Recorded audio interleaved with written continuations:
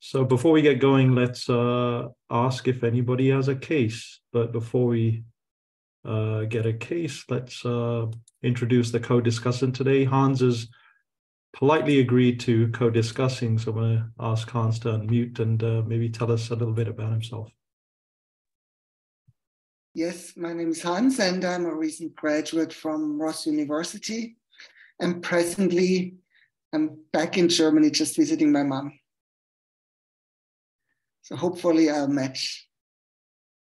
Best of luck to you, Hans. I know you're regularly here and contribute a lot, and some of your cases are just fantastic. So uh, I just hope to hear good news when it comes April. Um, I'm going to ask uh, other people. Sarah, how are you today? I'm doing really well. Yeah, um, enjoying some uh, rainy weather here and snowy weather. Oh yeah, it did snow up there, right? Uh, New York, New Jersey area. Yeah, yeah, it was more than we had in a while. So hopefully we'll get to play in the snow or make some snowmen or something. Awesome, Deborah. How are you? Are you in North Carolina or back uh, in Argentina? Hi, I am in Argentina now. It's it's really hot here. We can see like how I am and how is Sarah. The difference about our clothes, and yeah, I'm good. Excited for today. Awesome. Leah, how you been? I'm doing well. Um, we had spring last week and winter again this week. So um, I had to get out my winter clothes again. Yeah, it's interesting. We've had that uh, sort of fluctuating weather. We haven't had uh, snow here uh, in the Mid Atlantic region, but uh, we it was 73 degrees last Thursday, and then it went to 30 degrees. Oh, that's Fahrenheit uh, on Saturday, and then it's back to 40s, 50s. So kind of weird weather pattern. And um, Maddie, how you been? You're you're still out in San Francisco, I see. Yep, still out in San Francisco. It's been hailing here, which is a new thing, um, and it's really nice to see a lot of you know familiar faces and maybe even some new ones here. Uh, and again, we'll just call out a request if anyone has a, a case that they would like to present. Um, we would love to hear from you. If not, we can pull up a human DX case as a backup one. Sure. David, how you been? Fine. I just finished my GI rotation, so learning about mm, how to manage cirrhotic patients. Yeah, and well, I enjoyed it a lot. And uh, Yasmin, how are you? I'm very good, thank you. Um, yeah, so I have been doing observership. I, I just I try to mute a little bit to I don't know how getting used to the US um system. I hope that you didn't listen to any of them. Um, but yeah, I'm learning a lot and it's really nice. And I see that Dr. Jazz has a case. Yay. Awesome. the, the small talk leads to a case. Everybody's probably like, oh, let's start with a case. Uh, uh, Jazz so, to the rescue. Yeah. That's usually usually my tactic. Just go around the board and just talk to people till we get a case. So uh, how are you doing, Jasdeep? You want to unmute a bit and tell us a little bit about yourself? Yeah, uh, thanks, Bobby. Uh, I'm doing good. I'm on service for um, the medicine service with the resident team. For those who don't know, I'm the chief resident at U, U of R. Um, I've been trying to become more of a regular here. Just sometimes work-life balance doesn't pay out for that. Uh, I'm gonna plug in my laptop so uh, my laptop doesn't die. It, that happened last time. So um, this won't be a very organized case. I apologize because I, I didn't expect to present, um, but this is a patient that I'm seeing actually on my team. Um, so it thought would lead to a good differential. Um, so glad to be here. Yeah, awesome. I really appreciate you. Uh, whatever you can present, little tidbits, that's fine. We'll make a case out of it. So uh, I really appreciate you stepping up to the plate and uh, presenting. So Hans, uh, you, you're going to tackle the first aliquot. I guess we can deploy the whiteboard and, and get going. So, um, Right. So this is a 54-year-old gentleman um, with a past medical history of Crohn's disease, not on any treatment, hepatitis C, prior IV drug use, um, and prior abscesses as well. Um, with a recent, when I say recent, I mean four months ago, with a um, endocarditis workup that did not reveal an organism that presented to this current presentation for the last um, week onset of like lower extremity rash. And it's more like um, pustular and erythematous. And this is located in his right lower shin. Um, I'm going to provide some more history because he's uh, he has uh, like like I said, lots of history that might be irrelevant. He is homeless currently. Um, he was in a like long, long term care, but um, for other reasons, had to leave. So, uh, in his last admission, he was treated for multiple abscesses in his left arm and right arm. According to the patient, he, these all started after being bit by a brown recluse spider like three years ago. But um, he did say that his last time that he used IV drugs was um, about a year ago. Um, and so, other than that, he he still will occasionally use cocaine. Um, he doesn't um, inject cocaine or, other ways or smoke it. He uh, only does um, inhalation of, uh, of cocaine. Um, other things I want to share right now is uh, on physical exam, uh, was not able to appreciate any murmurs. Um, there, his lungs sounded good. He was in no acute distress, um, non-ill appearing. His vitals were normal um, little hypertensive, 141 over 80, but um, 87 heart rate, non-febrile, um, and uh, respiratory rate about 18. Um, his rash, uh, so I don't have the pictures, I'm sorry, but um, erythematous base with like a pustule um, that is scattered uh, on his right shin, one on the lateral surface, one in the middle. I'm gonna stop there. It's a lot of information. That's a great uh, starting point there. What do you think, Hans? Yes, I would just um, ponder on his past medical history, which is Crohn's disease, but also about his uh, social history, which is being homeless, and uh, his past use of IV drugs, as well as um, uh, the um, finding of um, abscesses on his left and right arm after being apparently bitten by uh, a spider. What comes to my mind, he has no fever, but it does not necessarily rule out an infection.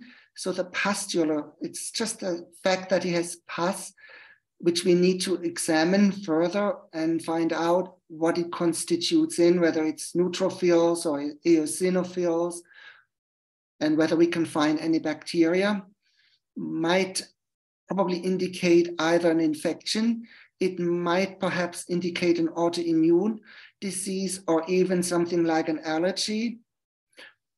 Autoimmune diseases, he does not ask for any, uh, did not report any pain in his lower extremities nor any other problems. So it's a wide open differential, which could be autoimmune, like um, pustular psoriasis.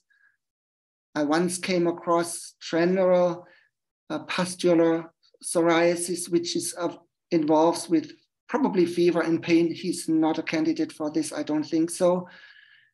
He uh, was abusing drugs, so I was thinking about cryoglobulinemia, but it does not show up as a pustular rash. And I think with those thoughts, I would like to pass the mic to you. Hans, the, those are some incredible thoughts. Uh, you completely blew me away. I don't think I could have done a better job than than what you put there up there on the screen in the differential uh, teaching points box there. But uh, yeah, it's the field like you mentioned, is wide open for this differential. So I definitely would like to get a bit more information. But uh, I like that you took pieces of the HPI, the Crohn's, and then try to decipher what kind of skin uh, complications you can have. Uh, I don't see any medications, namely in the hospital. I always uh, train myself to look for drug eruptions or complications of drugs. So we usually look for like SJS TEN, so bullous like disease with mucosal involvement. Uh, AGEP is one I know that you can have a pustular rash, usually benign, but uh, definitely something that can be uh, can can look quite remarkable. We have uh, an abundance of morbilliform type generalized uh, rashes from drugs. Usually, you'll see that due to Bactrim four days in without any mucosal involvement or organ involvement. DRESS syndrome or DIHS is another one. But in regards to this patient, though, I I would like to know the substance. Sometimes substances are mixed with other materials, like lev- can cause a um, vasculitis. And then you usually see those NEJM pictures of the week with uh, necrosis of the ear, um, those kind of pictures. So that would be something that would come to mind.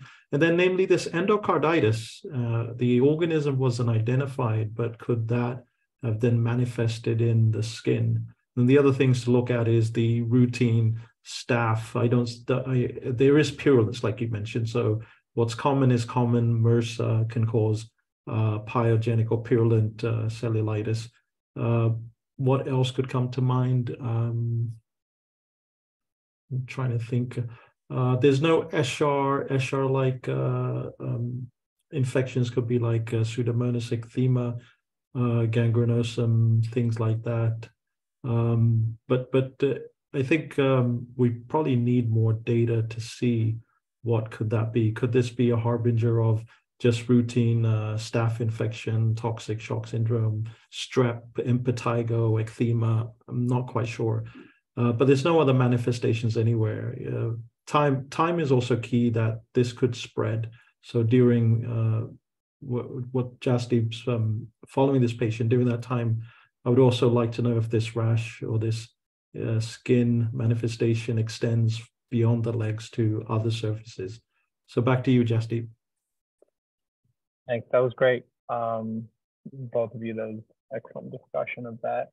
Um, so I'm going to go back to his prior hospitalization. I feel like that uh, was pretty interesting, to, at least in my opinion. So uh, he was admitted for about like 15 days um, and he came in with like a mild fever, not too bad, but they got uh, he was having some trouble breathing, so they got a CT of his chest at that admission, which showed several bilateral peripheral solid nodular opacities that had a small area of central cavitation surrounding ground glass opacification, specifically in the right lung apex.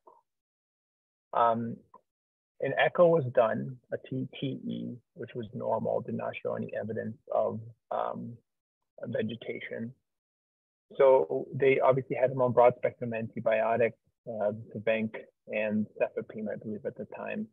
And he, you know, um, also scheduled for a TEE. Uh, in that time, he did start to improve a little bit. His symptoms did improve.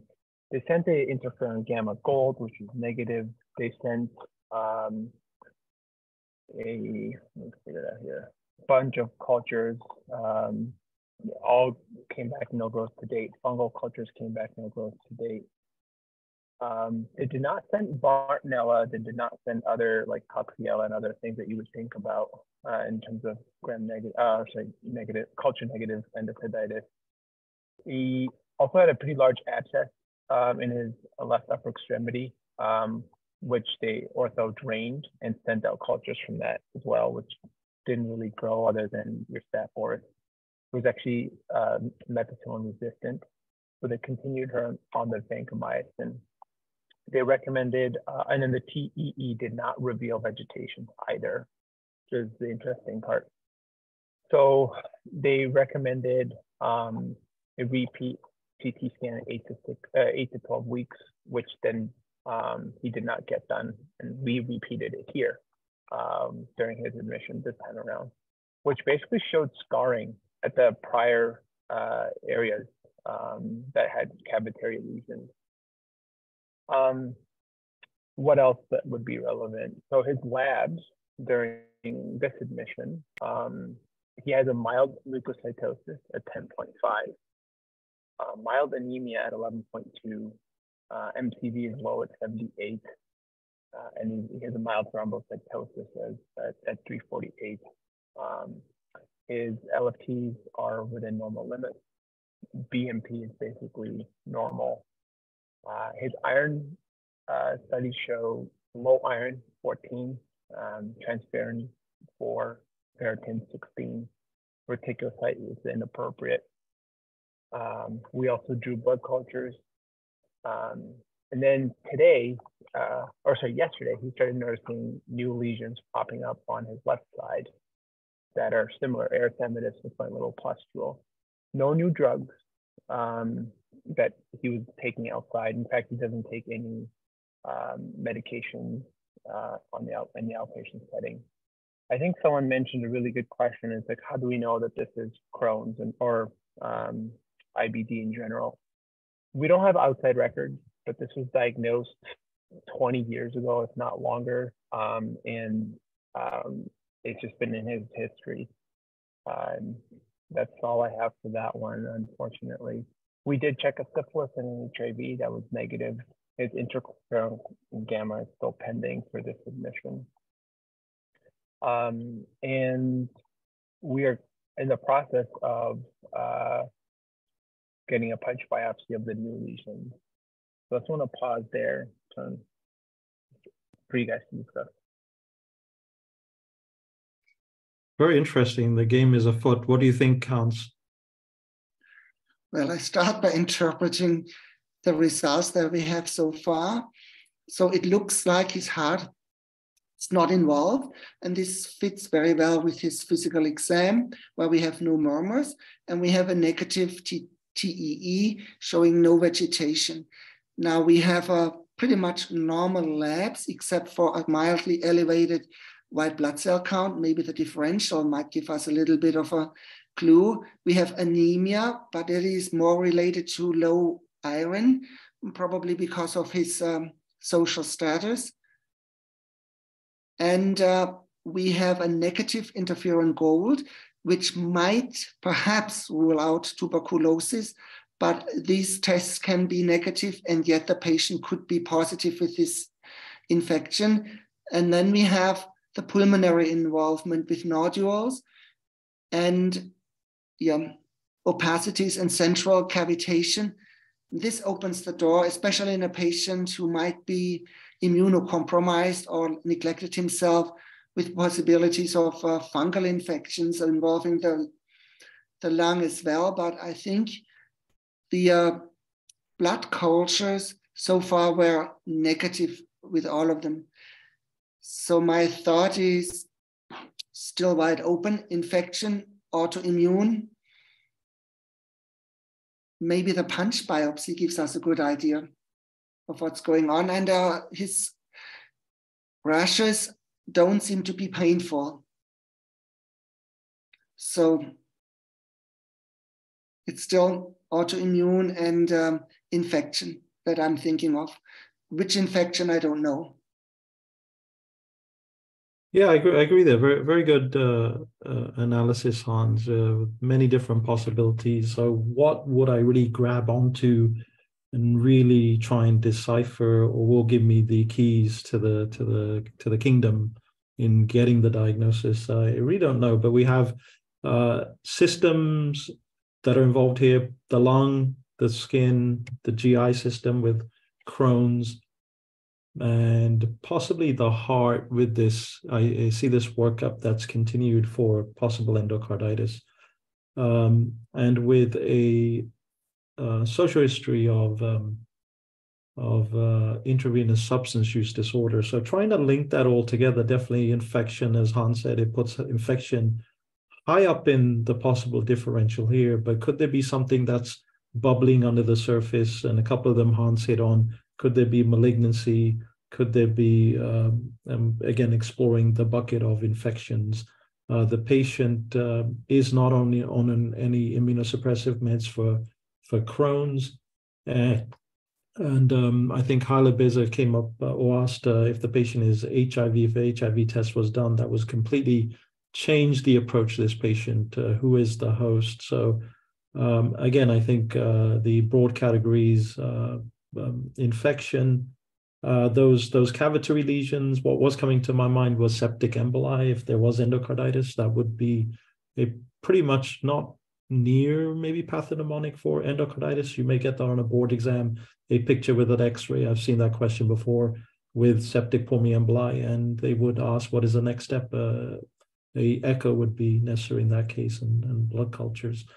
Um, malignancy definitely, um, and then you have uh, in, inflammatory conditions can manifest. We had a great case from uh, Anne Marie of hypersensitivity pneumonitis with ground glass and also this mosaic pattern, which I learned from from her case. So there's ground glass plus cavitary lesions. So you don't just have cavitary lesions, you have this inflammatory association, which could run the gamut of viral infections from COVID, uh, uh, influenza um, to maybe some autoimmune, some inflammatory hypersensitivity pneumonitis, maybe one of them as well, uh, to bacterial infections. So there's a large number of different infections that can manifest with this morphology on imaging. So at this point, uh, I think it would be uh, interesting to see the see the next aliquot if there is any CT, I guess. Um, sorry, uh, if there's a repeat CT to see if there's any change or if there's any other testing that you did that might help in in getting to the diagnosis. Back to you, Dusty. Um, I can potentially divide it into two more aliquots, or I can, uh, in terms of timing, Ravi, what do you want me to do? Yeah, I think uh, yeah we have the full hour, so we can we can do the two aliquots. Okay. So um, we noticed that on uh, we decided to add on um, some inflammatory markers from his initial labs, and his CRP was basically like essentially normal, like 11, which is the upper limit of normal, eight, and then the next day dropped down to six. But his ESR was 50, 67, then 53. And despite being on IV vancomycin, and cefepime, still having more viral, oh sorry, more uh, lesions on his now left extremity and now his buttocks. Um, and I think someone asked, but if I if I wasn't clear, he did have some um, very mild tenderness of palpation on, on, on some of these rashes. Um, and Ravi, we did get a repeat CT uh, his chest, and um, uh, it was basically like scarring in those areas that were uh, cavitary in the in the previous CT. We also repeated an echo, which basically uh, showed an LVF of 59% and no um, evidence of valvular vegetation. Um, and then in terms of further history, uh, he, you know, doesn't, like I said, he, occasionally used cocaine, but does not use IV drug use. Um, stays in a shelter most days, but um, there will be some times where uh, occasionally he'll live with his daughter once a week when uh, if it gets really cold outside. But um, for the most part, is outside in the streets. Um, we decided to add on some uh, autoimmune um, labs or serology like ANA, uh, ANCA. Um, and then with this whole potential history of IBD, we also sent some anti-mitochondrial antibody uh, and um, to see if this was uh, PSC. his, his CT abdomen, I can show you guys, or not, not show, but like uh, read off the imaging of that basically revealed uh, no acute um, abnormalities in the abdomen or pelvis. There's nodular contours of the liver that is mild, uh, mildly enlarged hepatic lobe. There is mild evidence of cirrhosis, no focal liver, liver lesion. Um, and they also mentioned that there's like mild uh, enlargement of the portal vein, which can represent early um, portal venous hypertension. Um, and then we also got some swabs um, for the the rash, uh, fungal, uh, gram stain, and then also um, some viral ones. And I'll pause there.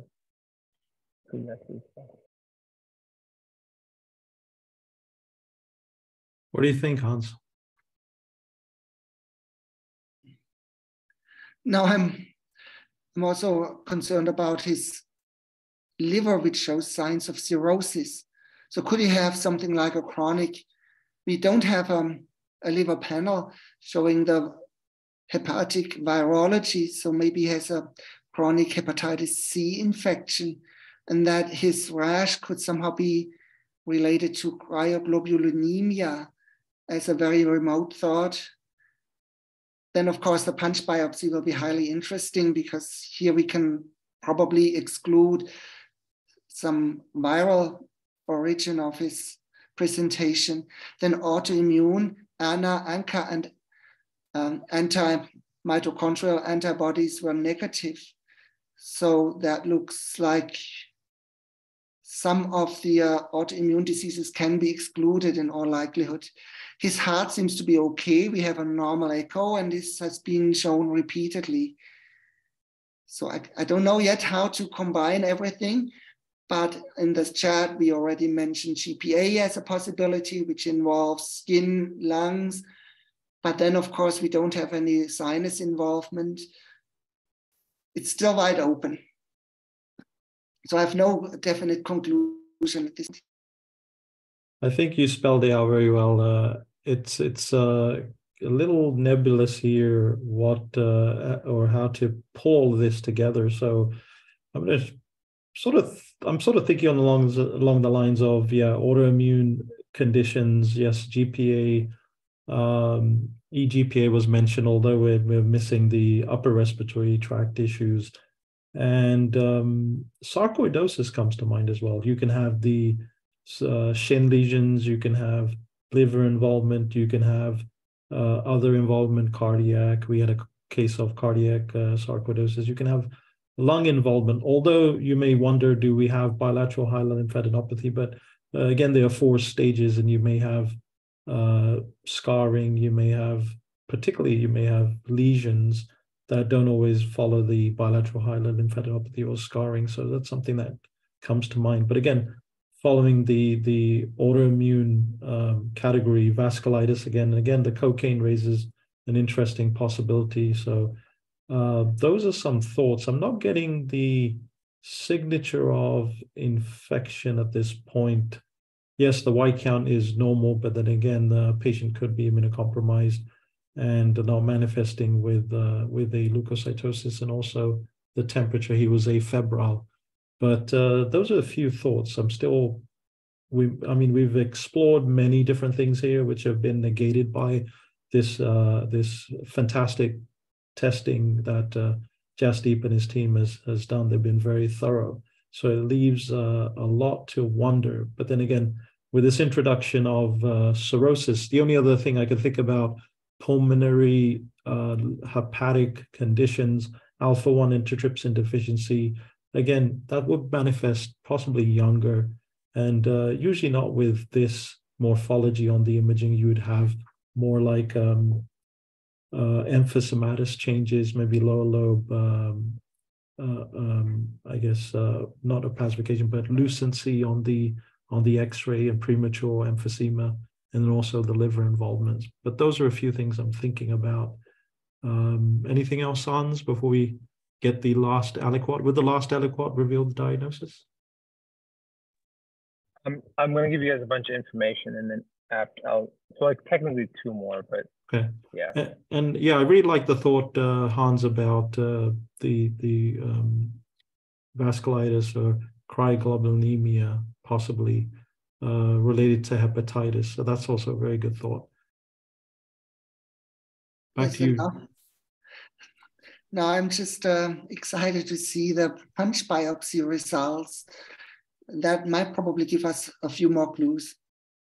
Yeah, the other infections that now thinking this uh, while you were talking, uh, tuberculosis and NTM also comes to mind, could potentially cause systemic uh, manifestations. So uh, these are all great mimickers. We have a number of things: HIV, uh, tuberculosis, lupus, uh, and um, sarcoidosis, and um, a couple of others that may not come to mind, but uh, th these can manifest in many different organs and have systemic disease like this. Back to you, Jasdeep.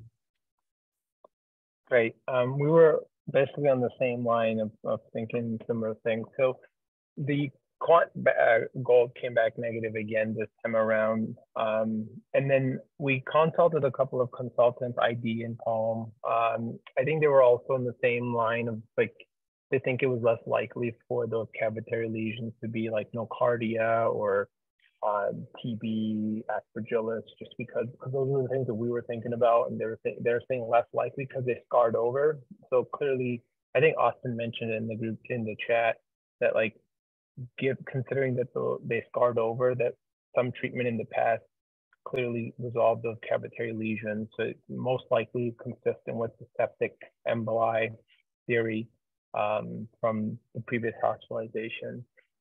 Um, other things was this is where it gets a little interesting. So we are uh, we got GI on board to do uh, colonoscopy. However, that has not been done yet, and the reason why we consulted GI is um, his, one of his swab, like sorry, one of his um, like punch biopsy results came back uh, concerning for erythema nodosum.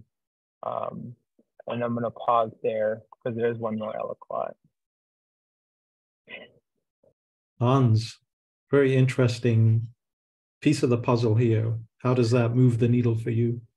And now it moves it very strongly towards sarcoidosis as a possibility because we have the lung involvement and we have erythema nodosum as a most likely um, reason or sign of his um, lower extremity rash plus a mild tenderness. So this seems to fit, but it's ulcerating or pustular. Let's see. Yeah, yeah, I absolutely agree. It opens the door to revisiting the possibilities you had uh, initially explored, uh, namely Crohn's. Some Yasmin had mentioned also uh, Crohn's disease uh, and its association with uh, the the shin. So erythema nodosum, also sarcoidosis, and um, a few others that that it is it is associated with autoimmune phenomena. So um, I'd like to see what what Jasdeep has in store for us if he has the final diagnosis. Back to you, Jasdeep. Um, so one of the reasons I was pausing of why I wanted, uh, okay, if I, doubting myself to present this case is we don't have a, like a solid diagnosis. Um, that's what I was hoping someone else would volunteer. Um, but so what is weird about this case or something that I'm struggling with is when it when I heard erythema nodosum, it's, a, it's actually an umbrella term. It could be caused by multiple different things, and Crohn's, and um, Hans mentioned uh, other uh, possibilities too. Um, the weird part like sarcoidosis. The weird part is that he hasn't really been having flares of his Crohn's, especially with any treatment. I guess it's still possible. Um, so, um, and I was I was personally concerned about endemic uh, mycosis with either histo um, that can definitely manifest in the terminal ileum as well, and then can have rash and other lung involvement. But Pulm and ID did not think so, just especially given the fact that his um, cavitary lesions uh, resolved. So currently, the diagnosis that we have is one of some. So the lesions on the right uh, shin was more consistent with erythema nodosum, and that's what the biopsy showed. It did not show the one on the biopsy on the left shin, and that one uh, came back positive to monkeypox. So those lesions were, especially the ones on the buttocks and then the the the, the left shin. So he was actually diagnosed with uh, a viral uh, rash consistent with monkeypox, which is makes sense. He didn't get better on the IV vanc. Um, didn't really improve his uh, course. Um, so we discontinued cefepime two days ago. We continued the vanc because of his history of MRSA. Um, didn't really get better, but wasn't, you know, wasn't worse off. And then that made sense with like a non-bacterial etiology for the rash. The what really prompted me to get ANA and like other autoimmune stuff is the fact that I was taught that um, if ESR is elevated, but CRP is near normal, uh, it's concerning for lupus, but other autoimmune conditions as well. So that's what prompted us to do that. But I think we might have a, a diagnosis here. Uh, it's kind of mean for me to pick something that has two diagnoses, but I'm sorry. I hope this was a good case. Oh no, that's a fantastic case. Yeah, we always have to think about. We're trying to always unify one every, the the case into one diagnosis, uh, but but sometimes we have to pick apart and run two simultaneous diagnoses at the same time.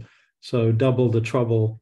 And uh, here, very well, we we thought we were onto the possible diagnosis with this uh, erythema nodosum, but then uh, monkeypox definitely with with the risk factors uh, of intravenous substance use disorder, um, homelessness. That definitely is something to think about. And, not, uh, I honestly uh, have only seen one case, so it's not at the top of my differential diagnosis. But we must learn to consider it in our differential diagnosis when approaching dermatological conditions, especially especially pustular of the pustular variety. But um, yeah, I'd like to know uh, what uh, what the final diagnosis is with the erythema nodosum. Is it's uh, unlikely, like you mentioned, he hasn't had exacerbations of his Crohn's disease. So could there be some other uh, systemic infection or uh, inflammatory condition that's uh, at play here?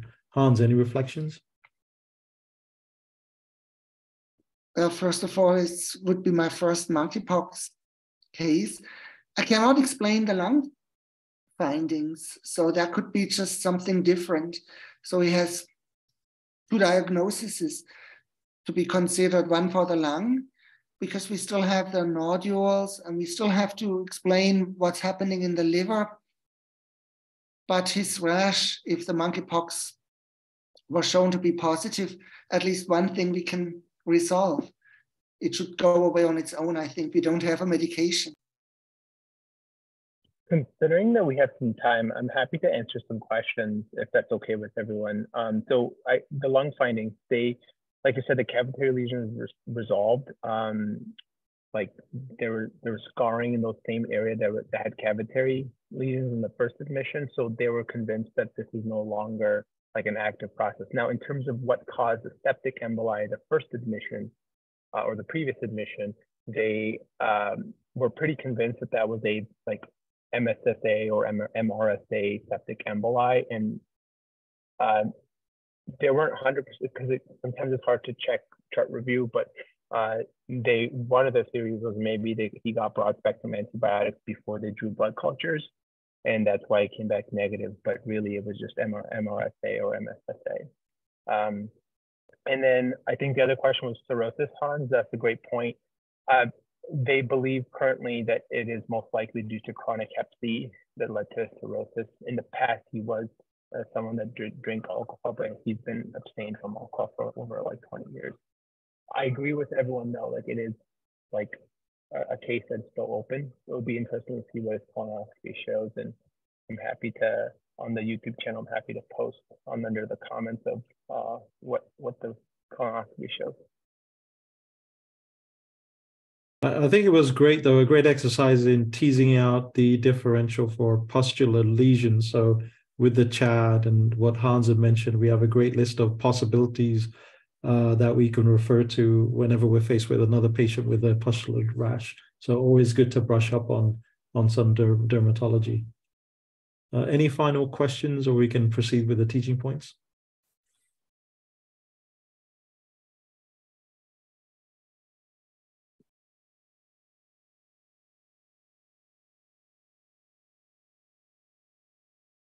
I guess, da David, are you able to start with the teaching points? Yeah, perfect. So, well, great case um, that uh, captures the difficult the the difficult that uh, appear in the the reality um, and that started with uh, a rash in a patient with Crohn or presumed Crohn. Uh, and these are some of the some of the questions that uh, we have to ask in, in every rash uh, to to narrow the DEX, the, the Y, the distribution, the depth, the morphological appearance, and the, if, if there is visceral involvement. Uh, the Crohn disease uh, make us think some of the dermatologic manifestations associated with this uh, disease, such as neutrophilic dermatosis, such as um, pyoderma gangrenosum or Sweet syndrome, uh, also erythema nodosum, uh, suppurativa, psoriasis, or cutaneous uh, small vessel small vessel vasculitis that were also mentioned.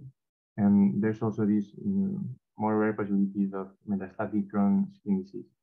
And then the case uh, take a, a, flip and with the appearance of uh, cavitary lung lesions that uh, have a broad DDX uh, uh, comprehends uh, infection, malignancy, autoimmune, and other more causes uh, that uh, finally in this uh, case um, appear to be septic emboli from, from I, I guess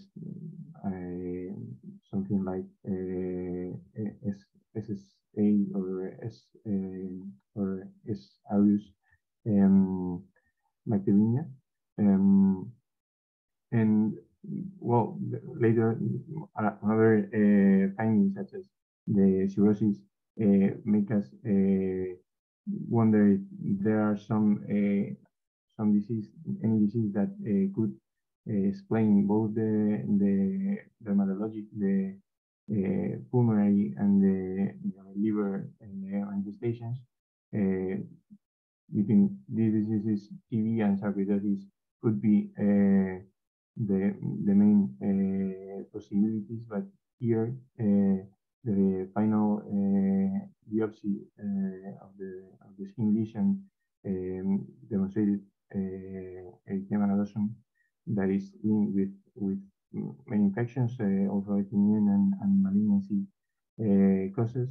Um, in this case, the the biopsy also reveal a monkeypox um, infection that, well, uh, it's a bit difficult to, for me to, to arrange with the rest of the case.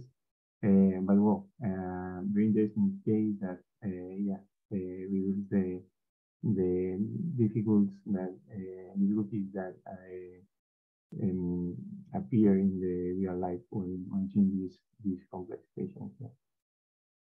Absolutely, David. I absolutely agree with you as well. So definitely we'll be researching more about monkeypox to become familiar with this with this condition. So uh, thank you very much. Uh, take care, everybody. Thank you, Hans, uh, for co-discussing. It was a pleasure again to to discuss with you. And uh, thanks, Jasdeep, for the case. You definitely uh, sparked our interest, and thanks for the education. Take care, everybody. Have a great rest of the Tuesday afternoon. Bye.